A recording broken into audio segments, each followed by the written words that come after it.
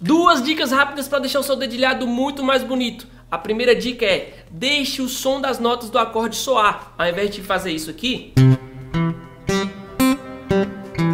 experimente fazer assim, ó. Deixe o som das notas soar. Toca e deixa. A segunda dica é aplique técnicas na mão esquerda, na mão dos acordes. Aqui eu vou aplicar um hammer-on. Ao invés de fazer assim, experimente fazer assim, ó.